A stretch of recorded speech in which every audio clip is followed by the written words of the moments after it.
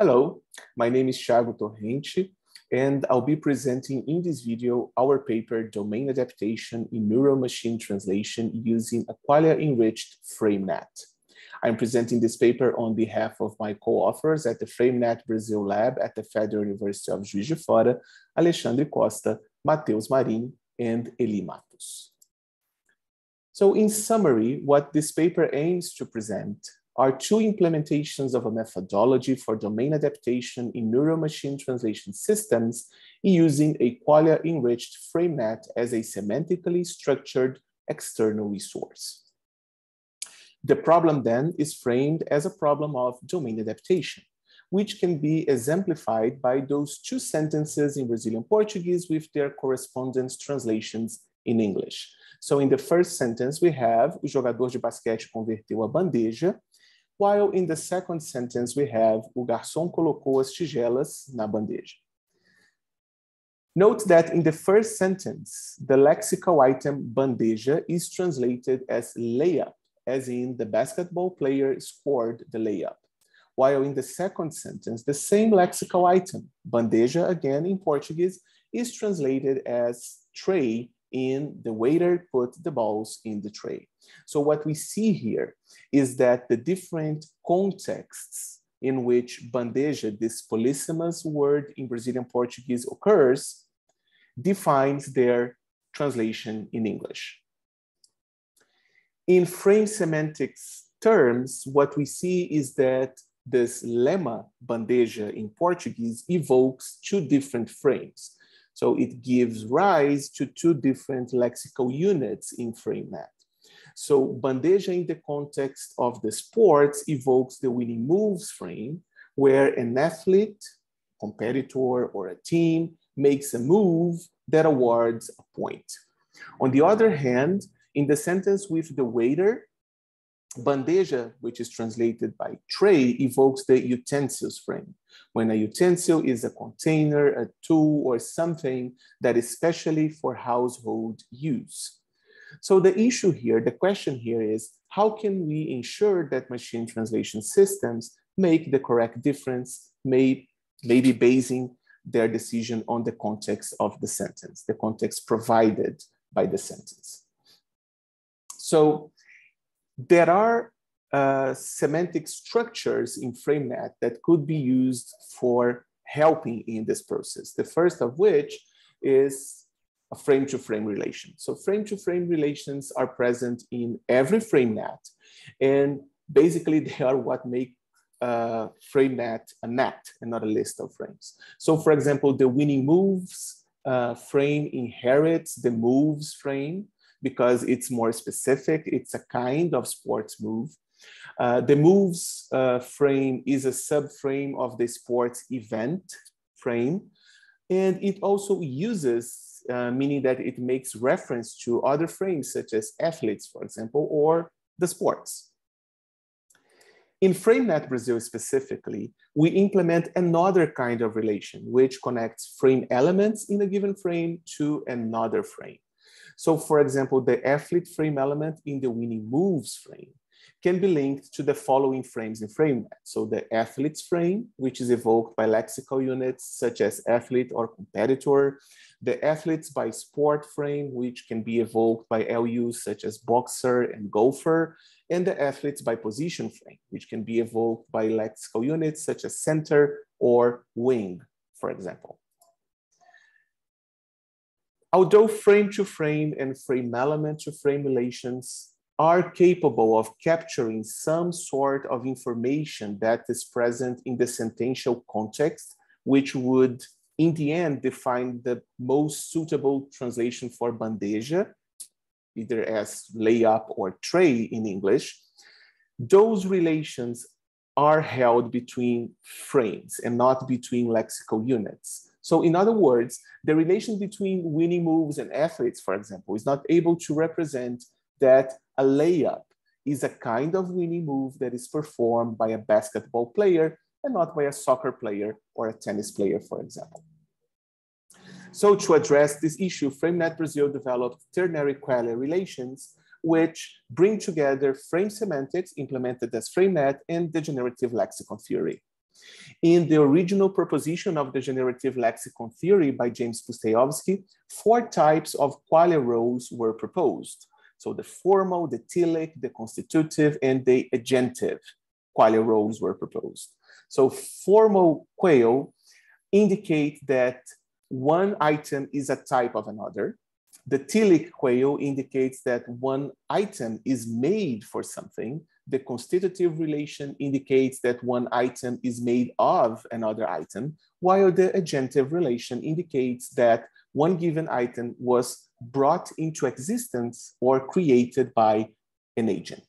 So for example, if we take pizza, and we apply those roles, those qualia roles uh, to this lexical item, we could say that food is a formal quale of pizza, that eat is a telic of pizza, that flour is constitutive of pizza, and that either a cook or a pizza restaurant can be the agentive of pizza. So some initiatives such as the Brandeis ontology or simple ontology create subtypes of those qualias as of those qualia roles as an ad hoc or external resource or additional resource. But in FrameNet, since we already had frames, what we did was to mediate qualia relations using existing frames. So if we keep the pizza example, what we can propose in a ternary qualia relation is that the agentive relation connecting the pizza restaurant or the cook to pizza can be mediated by the cooking creation frame.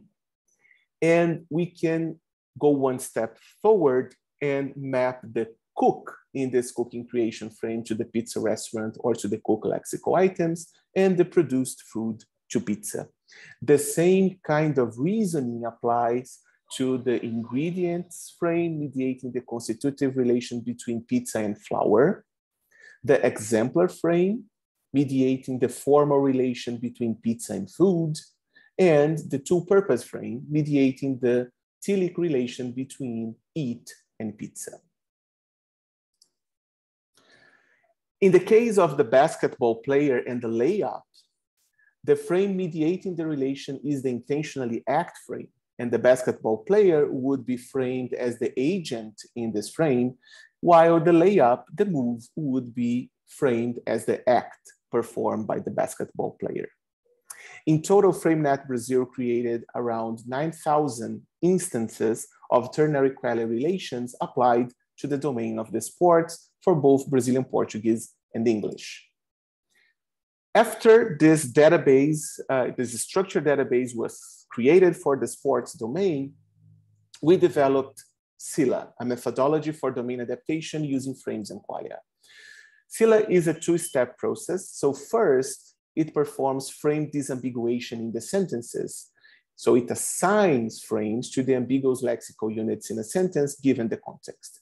And then it performs terminology injection in the machine translated versions of those sentences, either during the pre-processing stage or in the post-editing stage. So there are two implementations of uh, this methodology. The frame disambiguation process is carried out by DAISY, an algorithm developed by FrameNet Brasil, uh, meaning that it's a disambiguation algorithm for inferring the semantics of Y.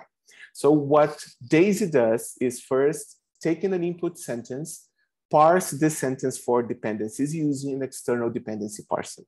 In this implementation, we have used the UDPipe uh, parser.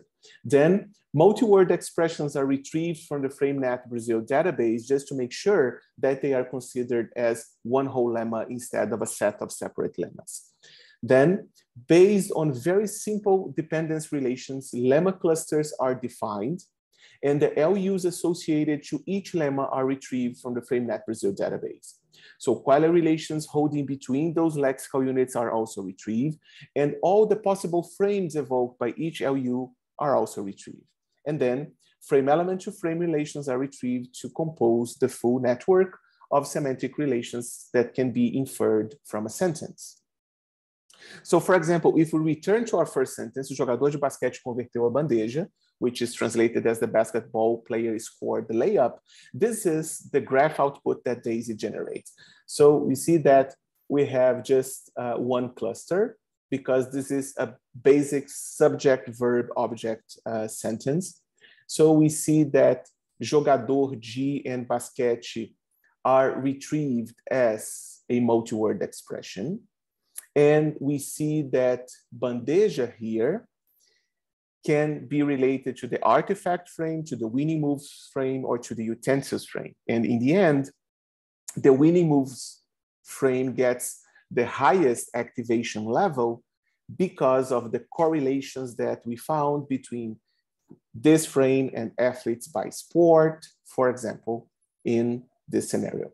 It's important uh, to point out that DAISY uses spread activation on the network of frames and relations in FrameNet Brasil to calculate those activation values and scores and choose the best fit frame. If we look at the other example, o garçom colocou as tigelas na bandeja, the waiter put the balls on the tray, what we see is that bandeja now gets a higher activation level for the utensils frame. This is due to the fact that tigela also, or ball, also evoke the utensils frame. This co-activation favors the utensils interpretation.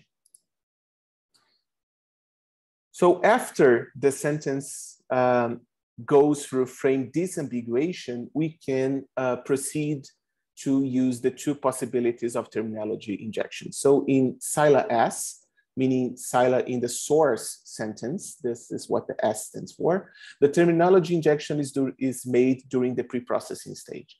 So the flow is the following. So the user inputs a source language sentence that goes through frame disambiguation using DAISY. And then we search once the, the, the sentence is disambiguation, is disambiguated for the translation equivalents in FrameNet for those terms. And then we substitute the domain specific terms that are present in the FrameNet database in the source sentence, and we feed a neural machine translation API for this implementation. We are using the version two of the uh, Google Translate API. And we feed this API with a hybrid sentence. So all the specific terms are translated and then the N NMT API receives a half Brazilian Portuguese, half English sentence and translates that sentence into English.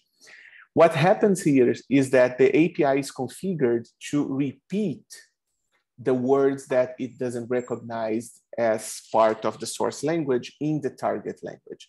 And then what happens is that because the terms were translated into English, the system does not recognize them and then just repeats them in the output, okay?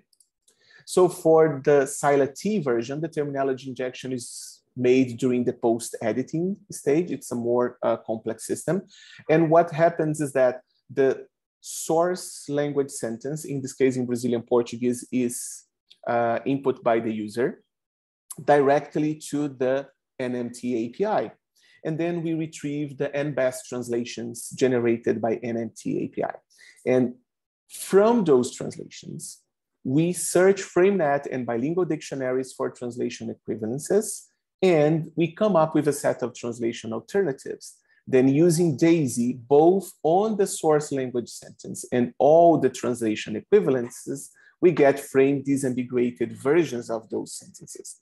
And then we can adjust the translation ranking generated by NMT API to favor those uh, translation alternatives where there is a match of the frames evoked in the source and target uh, sentences, or we can substitute an incorrect term by the correct translation or the more adequate translation in the domain of the sports and generate the target language translation. The reason why the implementation of uh, is necessary is because when we do the hybrid sentence uh, as the input of the NMTC uh, API in Sila S, we reduce the performance of the NMT system for all aspects related to morphosyntax, so inflections and adequacy of syntactic and morphologic relations.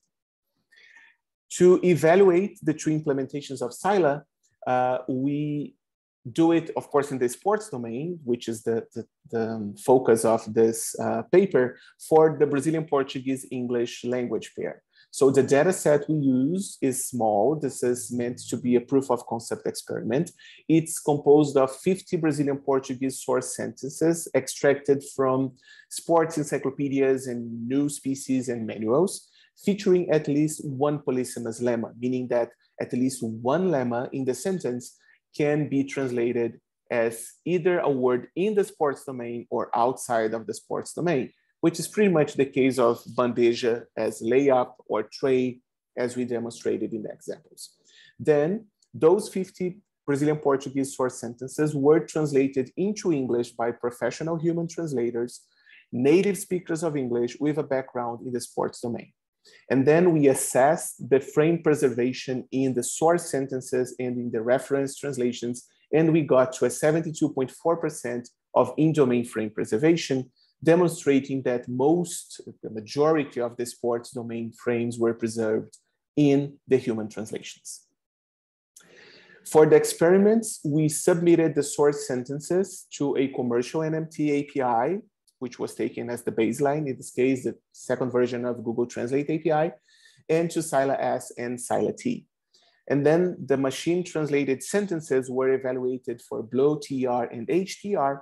And in the case of HTR, we used two professional translators for revising and altering the sentences, and then three other people for revising and scoring uh, the changes that were made by the human translators. So our results demonstrate that uh, Sila T has a very similar performance in BLEU compared to the baseline. Uh, we are aware of the fact that BLEU measures um, n-gram similarity, but to some extent, this can be seen as uh, an indicator that Sila T does not reduce the performance of the baseline system too much in what concerns morphosyntax.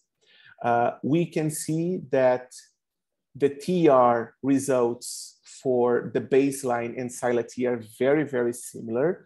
Uh, we must remember that for TR, the lower the score, the better. And here what we see is that Sila S um, has a poorer performance for TR because it ends up generating um, changes or variations in morphosyntax due to the hybridization of the input sentence. But the most important metric is, in this case is HTR, because what we see here is that Sila T improves the baseline by, by almost 50% in HTR, meaning that the editing effort for the sentences translated using Sila T is much lesser than the one um, for the sentences translated with the baseline. So as an example, if we take this uh, source sentence in Brazilian Portuguese, o ponta é o jogador que menos tempo tem para pensar na armação de uma jogada. The professional translators uh, produce the following gold standard translation in, in English. The winger is the player with less time to think about setting up a strike. So keep in mind here that ponta is translated as winger. This is a specific term of the domain.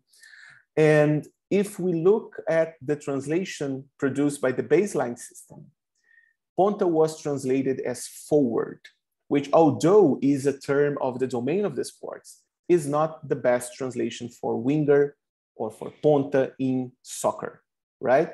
So we see that there is an HTR score of 0.08, which is relative to this change that had to be made by the professional translators. If we take uh, Sila S, we see an HTR of 0.6.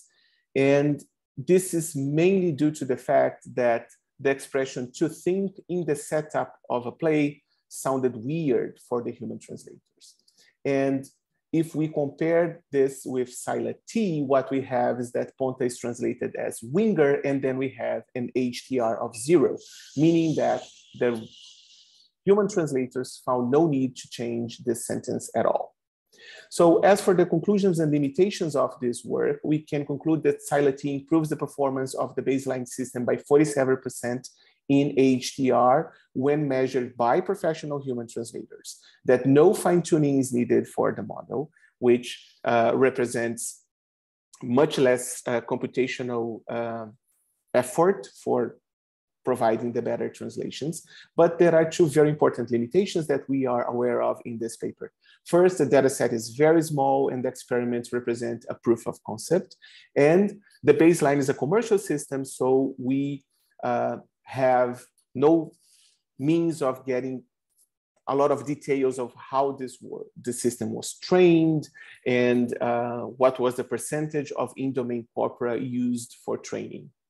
Nonetheless, this is the first experiment to use a qualia-enriched FrameNet for domain adaptation in machine translation. So we thank you so much for your attention and hope you enjoy your paper and meet us either online or doing LREC. So bye-bye.